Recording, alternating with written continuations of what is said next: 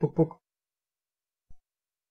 Kręcimy już, kręcimy. Dobra, 4600 mamy, nośną jedziemy. Siema, tu Szakal z tej strony, witam Cię na moim kanale i lecimy z Quick Newsami dalej. E, od siódmego, tutaj Apple TV nowa generacja, to już czytałem, ale czytałem tylko sam nagłówek, bo Apple nas interesuje. Aktualizacje dla Windows 7, 8 i 8.1 wyświetli powiadomienia o systemie Windows 10. Tak, aktualizacja. Jest taka aktualizacja, pojawiła się, to jest numer, b, b, b, b. Widziałem ją ostatnio i zastanawiam się, co to za dziwny numer, jakiś taki za... I, i ten, i 35583 pojawiła się i jakby ją sobie zainstalujecie. Jak ją sobie zainstalujecie, to będziecie dostawać informację Windows 10, więc można sobie ją odinstalować, żeby nie mieć tego informacji. Tak by to tyle, jeśli chodzi o tego newsa. Jedziemy dalej. GeForce GTX Titan X jeszcze szybsza wersja, ale że co? E, podkręcą na tym, czy będą zrobią jakąś ja, a, no, no tak, zrobią hybrydę. Także japońskie firmy Saicom, czyli jednak co, jakiś... Wcześniej pamiętam, że Nvidia nie pozwalała wchodzić w tytany, jeśli chodzi o edycję. Niektórzy tam producenci, chyba z tego co widziałem, Gigabyte robił, um, dodawał do karty, um, do Tytana, tylko nie tego oczywiście, tych starszych, dodawał po prostu swoje chłodzenie na przemontowanie, a EVGA robiła z blokiem wodnym od razu, więc jakby takie dwie modyfikacje. Tutaj widzę jakaś chińska z Saicom zrobiła po prostu blok wodny włożyła i hybrydowe chłodzenie, tak? Pamięci są chłodzone powietrzem, a GPU kompaktem wodnym. No i spoko. Będzie szybszy. Mam nadzieję. Troszkę. Ale pewnie głośniejszy przez to. Wiedźmin 3, pierwsze 15 minut rozgrywki. Wow. Widzieliście? Ja już widziałem, oczywiście jakby to, kto nie obejrzał, to niech sobie obejrzy. bardzo fajny, nie będziemy oglądać. A czy możemy kawałek puścić gdzieś tam, ale tutaj nie ma co czytać. Może jakieś naparzanko. Gdzieś znajdziemy, o, tu się coś dzieje. Tu na koniu. Czy to znowu to samo? Nie. O, tu z jakimś gryfem czy czymś. No, albo jakimś innym potworem, nie wiem. No fajnie. Dobra, obejrzyjcie sobie, co będę wam pokazywał.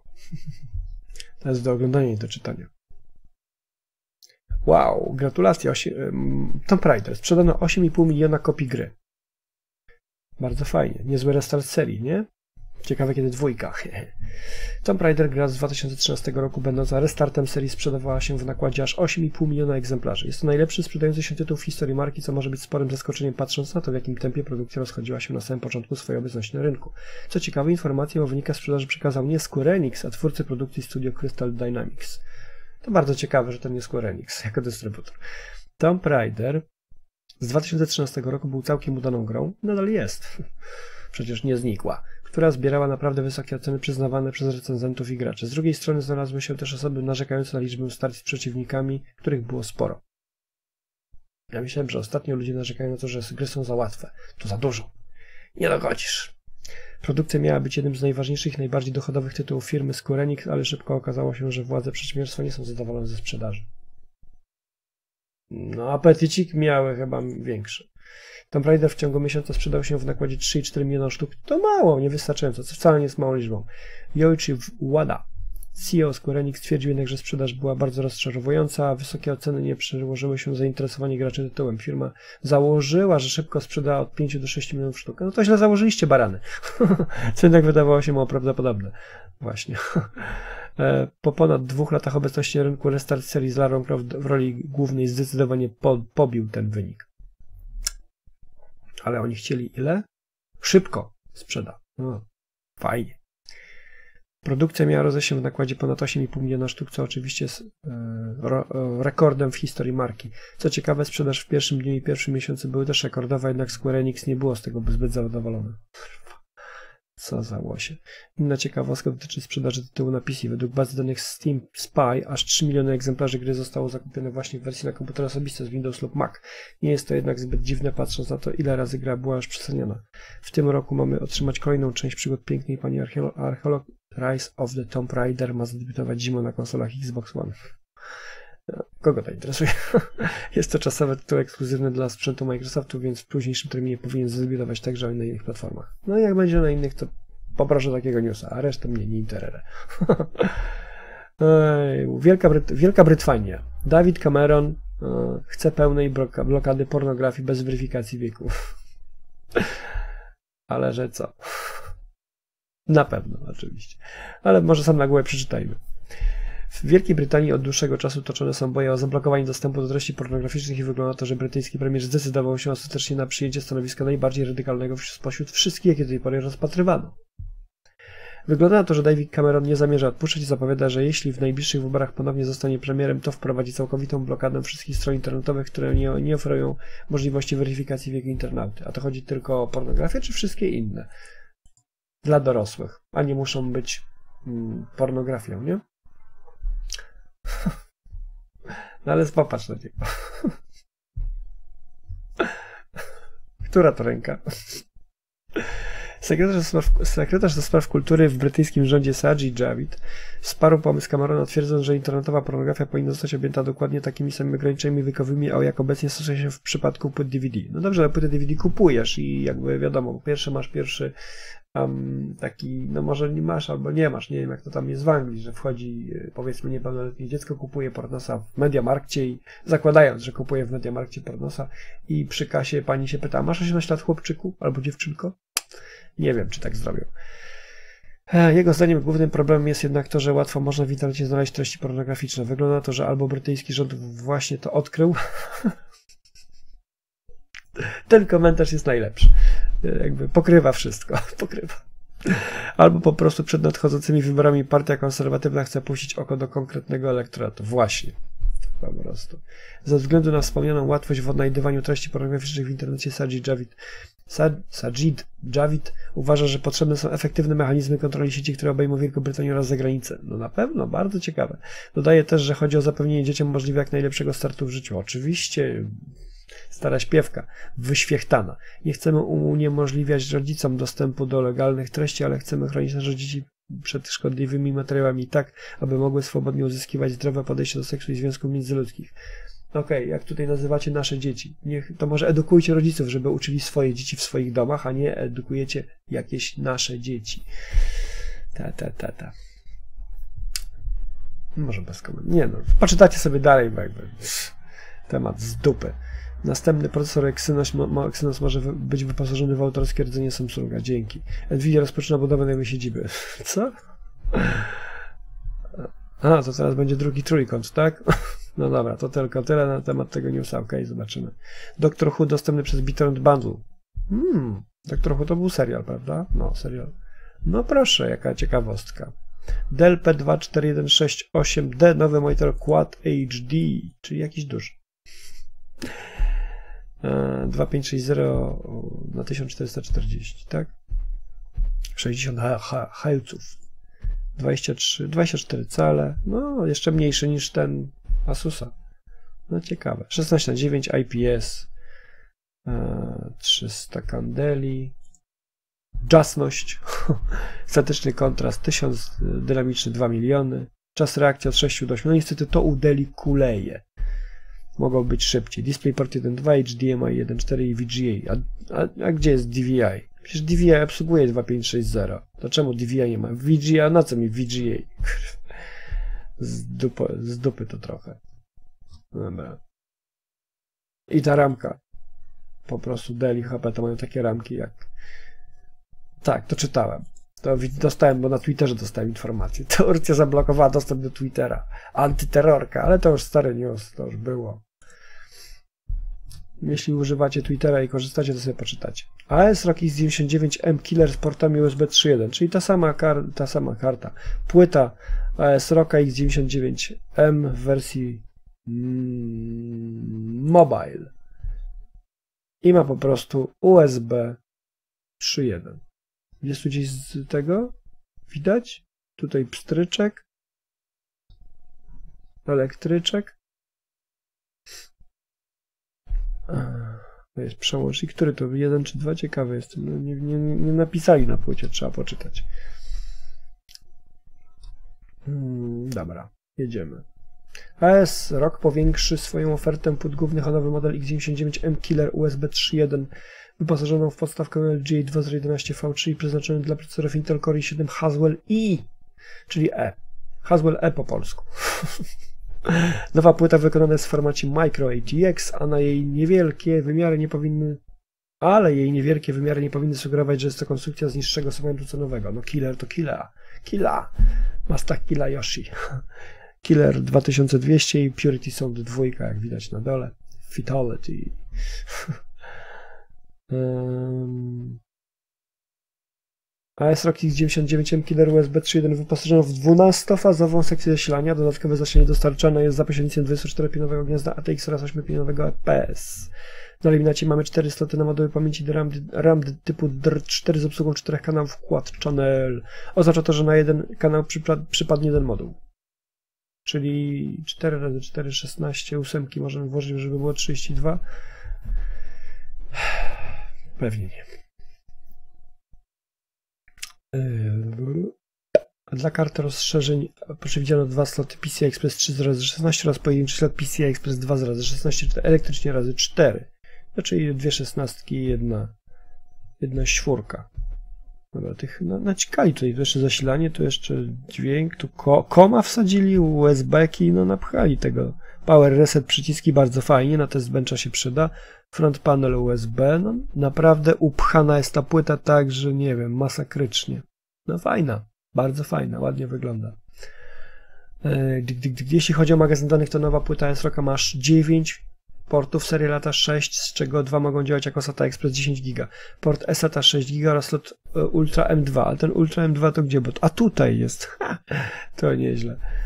Mm, gdzie my byliśmy? Wpięty do interfejsu PCI Express 3.0.4. Ponadto na płycie mamy kontroler dźwięku HD Audio 7.1, ale Rock Purity Sound 2 odstęp sygnału od szumów na poziomie 115 dB. Dedykowany wzmacniacz słuchawkowy, odizolowany uziemnienie toru analogowego dźwięku, a także dwa kontrolery sieci przewodowych 1 GB Killer E2205 i Intel i281V. Dwa porty USB 3.1 typu A, cztery porty USB 3.0, dwa złącza USB 3.0 oraz dwa porty USB 2.0 stabilizowane zasilanie, obniżone opóźnienie dla klawiatury i myszki. AS-ROG w modelu tym zastosował dwa układy BIOS, dla których przewidziano mechaniczny przełącznik, cena oraz dokładny termin uruchomienia dostawy płyt głównych wspomnianych w tytule nie są jeszcze znane. No, powiem wam, że płytka wygląda fajnie. Jeszcze ten wyświetlacz postów tutaj z tym EPS-em e, trochę ciasno może być. Tu radiator, no różnie, różnie. Trochę ciepło. No ciekawe. No ciekawie wygląda płytka, naprawdę. Tutaj fajniejsze i lepszej jakości zdjęcie tutaj trochę. No. No zdjęcie bardzo dobrej jakości. Tutaj biosy mamy z przełącznikiem. No, jest ciasno, naprawdę. Ciasno, ciasno upchane wszystko. No fajnie. Naprawdę wygląda fajnie, bardzo mi się podoba. Steam Spy pozwala sprawdzić, ile osób posiada daną grę na Steam. w przypadku Tomb Raidera, żeśmy przed chwilą o tym czytali. Jakbyście nie znali Steam Spy'a, to możecie poczytać. Steam Spy to pierwsza strona, która prezentuje najważniejsze statystyki platformy Steam dzięki narzędziu stworzonemu przez Sergieja Galionkina. Po raz pierwszy w historii możemy sprawdzić, ilu, ilu użytkowników posiada daną produkcję oraz jakie tytuły są najpopularniejsze i najwa w najważniejszych dla rynku pecetowych PC-owego krajach. Twórcy zaznaczają, że dane prezentowane na ich y, serwisie nie są w 100% dokładne, ale margines błędu jest naprawdę niewielki. Śledzenie sprzedaży gier na PC jest niezwykle trudne, bo większość wydawców się nimi po prostu nie chwali, a platformy cyfrowej dystrybucji takie jak Steam i Origin nie udostępniają bezpośrednio tego typu danych. Na szczęście powstał Steam Spy, który ma pomóc graczom, dziennikarzom, ale także twórcom gier indie w sprawdzeniu jak popularne są dane produkcje. No bardzo fajna strona. Co jest? A, znowu mi się zmniejszyło obrazek. Czekajcie, zaraz sobie poprawię. Dęk.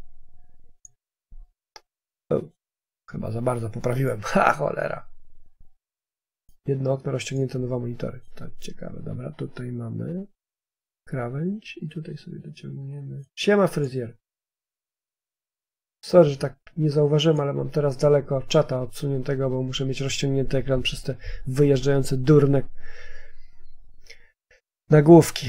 Dobra, jedziemy dalej. E, dig, dig, dig, dig, dig, dig, dig, dig. Serwis bazuje na web API udostępnionym przez Valve i automatycznie zbiera dane z profili użytkowników platformy. Oczywiście trzeba pamiętać, że istnieje pewien na szczęście niewielki margines błędu, który jest określony przy każdym tytule. Twórcy zaznaczają też, że nie zawsze słowo posiadane jest również równoważne ze sprzedane na Steam. Liczba ta wyliczone są wszystkie kopie znajdujące się na kontach użytkowników, także te pochodzące z pudełek i aktywowane na platformie, gry z bundle i produkcje Steamwork kupowane w sklepach z cyfrowymi produktami, a także tytuły dostępne w darmowych weekendach. W ostatnim przypadku to, do aktualnienia listy niezbędne jest ponowne zalogowanie do Steam użytkownika korzystającego z promocji, dzięki czemu wynik jest zmieniany na prawidłowy. Stąd też liczba właścicieli danego tytułu może czasem spadać. Country Poland, CSGO, yeah. Counter Strike. Unturned Fleet. Unturned. Unturned. A, kto tu się obudził? Cześć chłopcze. Eurotrack Simulator, Team Fortress, Garry's Mod, Payday, Dota 2. A gdzie Borderlands? Hmm. E, Steam Spy pozwala także sprawdzić listę tytułów, segregując je pod względem wydawcy, data wydania, gatunku czy kraju. Co ważne, wśród państw, w których, w których monitoruje się aktywność użytkowników jest Polska. Nie powinno raczej dziwić, że w naszym kraju nadal dominuje Counter-Strike, który zajął dwa pierwsze miejsc, miejsca. Polacy stanowią 2,74% wszystkich użytkowników platformy Valve i są odpowiedzialni za zakup 2,47% wszystkich gier na Steam. Połóżcie. Czy to tak, nie? No okej, okay, to nie. Zbierane przez Steam e, Spy dane są naprawdę ciekawe i rzucają światło na kondycję rynku pecetowego. Wspomnieliśmy dzisiaj o niecałych 3 milionach sprzedaży sztuk Tomb Raidera na PC. Bardzo dobrze radzą sobie oczywiście takie tytuły Valve. Counter-Strike Global Offensive znajduje się w bibliotece ponad 12 milionów osób, a Portal 2 może pochwalić się wynikiem 6,5 miliona sztuk. Nie mają się czego wstydzić także polskie studia. Dead Island dobiło do granicy 2,66 miliona kopii, Dying Light przekroczyło próg 500 tysięcy sztuk, Wiedźmin 1,3 miliona, a Wiedźmin 2 około 2,7 miliona. Całkiem dobrze radzą sobie też mniejsze produkcje, takie jak This War of Mine 449 tysięcy oraz Zaginięcie na kartera 190 tysięcy. Trochę mało, myślałbym, że Spodziewam się, że jest więcej. Na sam koniec należy zaznaczyć, że Steam Spy jest w tej chwili w fazie testowej, a więc mogą pojawić się duże błędy. Ale i tak fajna statystyka, nie? Du, du, du, Nvidia GeForce 350 nowe sterowniki z poprawkami dla zawierających się gier. No to generalnie nowe sterowniki, jest informacja. I to jest jeszcze informacja, że to są sterowniki w tak zwanej szybkiej poprawce hotfix, czyli są dostępne e, z działu wsparcia technicznego, a nie bezpośrednio ze sterowników, jeśli jeszcze nie są, bo może już są. Apple Watch może mieć problemy w Szwajcarii, dziękujemy Szwajcarom. Krajtek może tworzyć grę dla Amazona. No to ciekawe. Słyszałem, że dostali od 50 do 80 milionów dolarów i nie wiadomo na razie, co z tym będzie. E, co będą robić dla Amazona, więc to będzie ciekawe. TSMC 10 nanometrowe procesory w 2017 roku. No i tylko tyle tak naprawdę, bo co będziemy czytać więcej. Microsoft Payments. Firma może wprowadzić własny system płatności. Okej, okay, niech wprowadza. Global Foundries gotowe do, do produkcji w 14 nanometrów. Mm, no i git. Jak ktoś chce, to niech wskakuje. Generalnie no, przyspieszymy te newsy, bo nie będziemy wszystkiego czytać. LG G4 nas nie interesuje w ogóle, Samsung Gear nas interesuje, Microsoft Surface 4 Pro z ekranem 4K, no bez przesady, ale spoko, kogoś interesuje. Um, I tu nas interesuje. Wiedźmin 3 otrzyma dwa nowe dodatki duże. Wiedźmin 3 Dziki Gon otrzyma po premierze dwa duże rozszerzenia fabularne, starczające w sumie na 30 godzin rozgrywki. Pierwszy z nich ukaże się jeszcze w tym roku, natomiast drugi oferujący zupełnie nowy obszar kilka miesięcy później. Poznaliśmy już pierwsze szczegóły na temat dodatków oraz cenę sugerowaną. Wygląda to, że jest to odpowiednik przepustki sezonowej, angielski sezon pass do innych gier, ale zamiast skromnych DLC gracze dostaną dwie obszerne przygody rozbudowujące podstawową wersję Wiedźmina 3. No, no, no, generalnie no to jest, może być przepustka sezonowa, i w tej przepustce mogą być dwa dodatki, może będą jeszcze jakieś tam inne fryzury Geralta albo jakieś ciuchy dla Ciri. No ale spoko, co tu mamy? Mamy trochę tego, dobra, to polećmy. Firma CD, Projekt, CD Projekt Red przygotowuje się, do, przygotowuje się do wydania swojej największej do tej pory produkcji. Do, do premiery trzeciej części serii zwieńczającej historię o Geralcie z Rivii pozostało raptem półtora miesiąca. Tym samym prace nad nadchodzącym RPG mają się ku końcowi, a studio myśli co dalej. Wiemy już, że w maju dostaniemy pierwsze DLC do Wiedźmina 3, które zostały już zapowiedziane, ale są one nad wyraz skromne i mają być darmowe dla wszystkich posiadaczy egzemplarzy gry, ale plany CD Projektu nie kończą się tylko na nich. W ciągu najbliższego roku można bowiem liczyć na, uwaga, dwa fabula fabularne rozszerzenia. Serca z kamienia oraz krew i wino. Dobrze, że nie serce i rozum. Pierwszy dodatek do Wiedźmina 3 ma zapewnić 10-godzinną przygodę na terenie ziemi czyich oraz w mieście Oxenfurt. To takie chyba trochę z niemiecka. Jako Geralt spróbujemy wykonać zlecenie otrzymane dla od tajemniczego pana lusterko i wyjść z opresji bez szwanku. Drugie rozszerzenie Krew i Wino zabierze nas zupełnie nowej w grach serii Wiedźmina, e, Wiedźmin lokalizacji są, tu są. Nietknięte wojny, wojną księstwo Anny Henriety oraz przygody Geralta Jaskra i ich towarzyszy wspominamy bardzo dobrze z powieści Andrzeja Sapkowskiego i nie możemy się doczekać tego, aż ujrzymy krainę winem est-est płynącą na ekranach monitorów lub telewizorów. Zabawimy tam dłużej niż na ziemiach niczyich oraz w Oxenfurcie, bo aż 20 godzin. O wyzwaniu, jakie czeka na Białego Wilka nie wiemy za wiele, poza tym, że wręcz beztroski klimat, jaki panuje w Toussaint, to tylko pozory, pod którymi kryje się krwawy sekret. Oba dodatki to nie tylko nowe wątki fabularne, ale także dodatkowe poszerzenie znane wcześniej NPC e, lub znane z kart opowieści i przeciwnicy. Mm. No to fajnie. Początkowo cena sugerowana tzw. Tak przepustki gwarantującej dostęp do obu przygód angielskiej Expansion Pass, mm, inaczej to nazwali, wyniosła tylko 17,49 euro w sklepie cyfrowej dystrybucji GOG, około 71 zł. Była to bardzo uczciwa kwota jak na 30-godzinną rozgrywkę, niestety została podniesiona do 24,99 euro, około 101 zł. W porównaniu do tradycyjnych przepustek sezonowych do innych gier, zawartość oferowana przez CD Projekt jest miłą odmianą. Mamy tylko nadzieję, że jakość przygód będzie stać na wysokim poziomie. Poczekam aż stanieje. E, zapowiedź tego została przed premierą wydaje się idealnym zagraniem marketingowym ze strony CD Projektu i zgadza się z dotychczasową polityką firmy, która od początku twierdziła, że pobierać opłaty będzie jedynie za pełnoprawne rozszerzenia wprowadzające do gry dużo nowego, w przeciwieństwie do większości konkurencji na rynku, czyli wszystkie małe DLC jak e, dodatki rozszerzające mm, umiejętności, czy wyposażenie, czy coś tam, to będzie za free, tak? Dodatek Serce z Kamienia ma być dostępny w październiku 2015 roku, czyli 5 miesięcy po wydaniu podstawki, natomiast krew i wino w, krew i, krew i wino w pierwszym kwartale 2016 roku.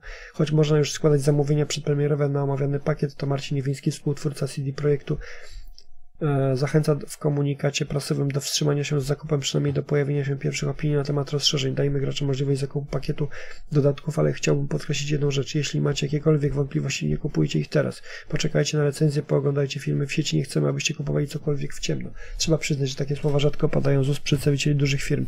Jednak najpierw pozostaje nam czekać na podstawową wersję Wiedźmina 3, która wyjdzie 19 maja e, na PC, PS4 i Xbox One, ale wielka mapka no i tutaj dwa obszary, tak? Nowe. Cała mapa świata gry niestety na razie nie ma jej wysokiej rzeczywistości. No niestety. Trudno. Przeżyjemy. YouTube Kids ma problem przez wyświetlanie reklamy. Przez wyświetlone reklamy. Uuu, szkoda. iPad. Hmm. My to mamy 7-8, dobrze pamiętam, bo tak mi wylatuje czasem. 7-8, dobrze. iPad mini 4 obudowa na zdjęciach i filmie. No straszne. ZT Blade S6 Plus, nowy phablet już dostępny, ojej. Grand Theft Auto 5 już można pobierać pliki na PC. No to już. Pobierać.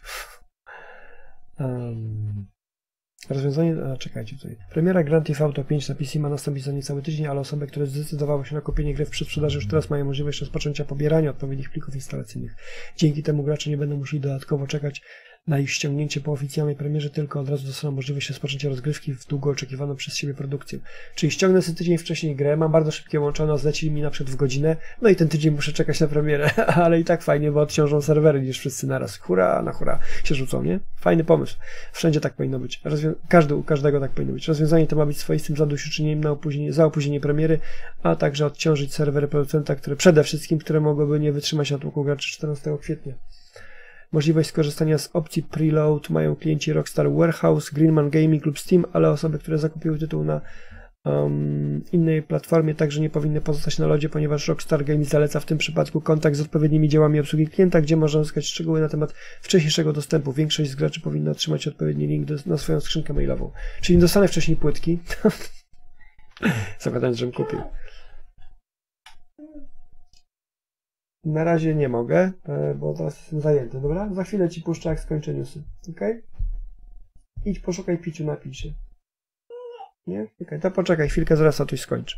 Samo ściągnięcie plików gry oczywiście nie oznacza możliwości uruchomienia GTA 5 na PC przed oficjalną premierą, ponieważ dopiero we wtorek producent udostępni kluczowe pakiety instalacyjne.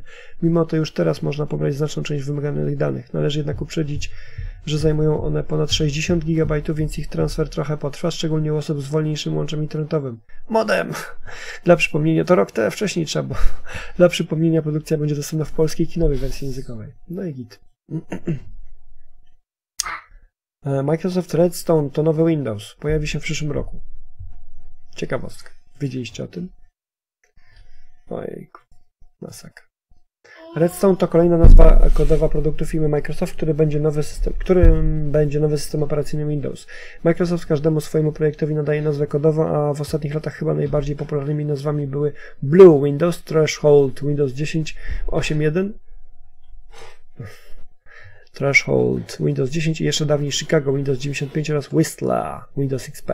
Wiemy już, że latem firma chce zakończyć pracę nad systemem operacyjnym Windows 10, ale jeszcze przed tym ruszają pracę nad kolejnym wydaniem. Nie jest to nowa praktyka. Przykładowo prace nad następcą systemu Windows XP ruszyły ponad 5 miesięcy przed jego rynkowym debiutem. Microsoft już wielokrotnie zapowiadał, że Windows będzie rozwijać się w szybszym tempie aniżeli w przyszłości, a tak aby uniknąć dużych przestojów jak za czasów Windowsa XP i Visty. Potwierdziło, potwierdzono już zresztą, że następne wydanie Windows pod 10 pojawi się w 2016 roku. Teraz wiemy, że nazwa kodowa tego projektu to Redstone. Trudno oprzeć się wrażeniu, że przypadkowo nazwa to określa też bardzo popularną zdobycz w nabytej niedawno przez Microsoft grze Minecraft. A gdzie ty poszedłeś? Chodź, tu mam cię, muszę cię widzieć. Obecnie nie wiadomo zbyt wiele o następnym wydaniu Windows, ale pierwsze szczegóły już do nas zaczęły trafiać. Różne źródła twierdzą, że Microsoft już rozpoczął dokładne planowanie procesu aktualizacji swojej platformy programowej. Warto przy okazji zauważyć, że ostatnimi czasy coraz częściej nazwy kodowe produktów i usług Microsoftu pochodzą od gier. Redstone, jak już wspomnieliśmy, nawiązuje do Minecrafta, podczas np. Cortana czy Spartan, nowa przeglądarka internetowa to nazwy powiązane z serią gier Halo. No proszę. Dobra, poczytacie sobie, co tam będziemy czytać o systemie, który będzie za rok. Izrael zaatakowany przez. Jak tam jeszcze mamy z ósmego? Ósmy, ósmy, no to jeszcze sporo mamy, dobra. Izrael zaatakowany przez grupę Anonymous. Zgodnie z zapowiedziami grupa Anonymous dokonała elektronicznego holokaustu przeciwko Izraelowi. W serwisie YouTube opublikowano film, na którym przedstawiono groźbę wobec tego kraju, sięgającą aż po wymazanie jego z, cyber, cyberprzestrzeni. Oh, fuck. Grupa zaatakowała szereg rządowych serwisów internetowych, izraelski wymiar sprawiedliwości, Ministerstwo Edukacji, internetowy portal parlamentu i opublikowała mnóstwo danych w sieci. Poczekajcie chwilę, zaraz przyjdę, e, tam młodemu coś dam do zajęcia, a nie będę wyłączał newsów. Mm-hmm.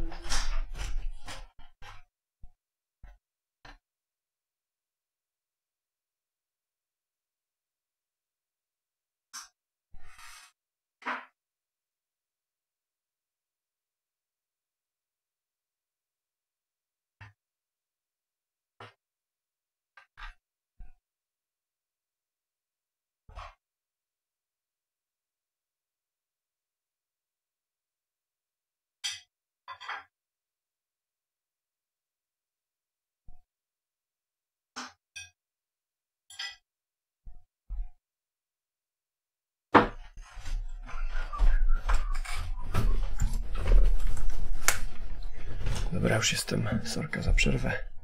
Zajrzyjmy na ten atak. to już czwarty atak Anonymous wymierzony w Izrael. Hmm.